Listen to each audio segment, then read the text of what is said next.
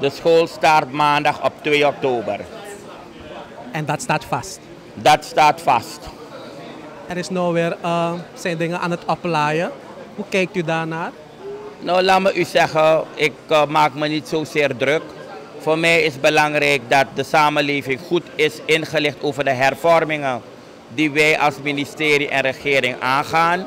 Voor mij is belangrijk dat kwaliteitsonderwijs belangrijk is. Voor mij is belangrijk dat de leerdoelen bereikt worden. En maandag 2 oktober reken ik op alle onderwijsgevenden, directeuren, onderdirecteuren en alle actoren die betrokken zijn bij het onderwijsgebeuren. Dat op 2 oktober wij een vlotte start maken van het schooljaar 2017-2018.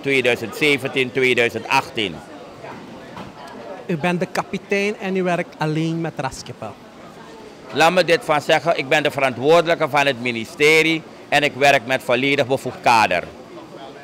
Dus de school begint gewoon normaal op 2 oktober? Zeker weten. En als mensen wegblijven? Dan zullen de consequenties niet uitblijven. Zijn die al? Hoe zien ze eruit? Ik denk dat uh, de personeelswet is duidelijk.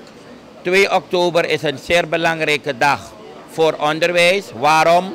Omdat op die dag de aanwezigheidsplicht van de onderwijsgevende belangrijk is om aan te geven dat de onderwijsgevende heeft aangemeld. Maar het is ook belangrijk dat de leerlingen aanmelden zodat de leerlingenlijsten nagecheckt kunnen worden op uiteindelijk de volle formatie van de klasse.